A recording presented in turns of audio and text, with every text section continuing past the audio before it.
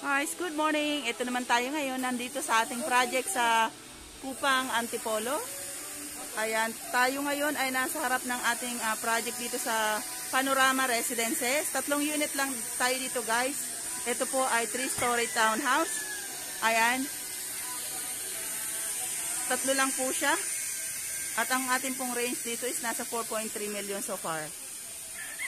So, sa mga nais po mag-avail nito, sundan nyo lang po ako sa aking YouTube channel, Chat Boulevard, at ang aking pong number 0915-136-8350. Accessible lang siya guys, at nandito po siya sa Lower Antipolo.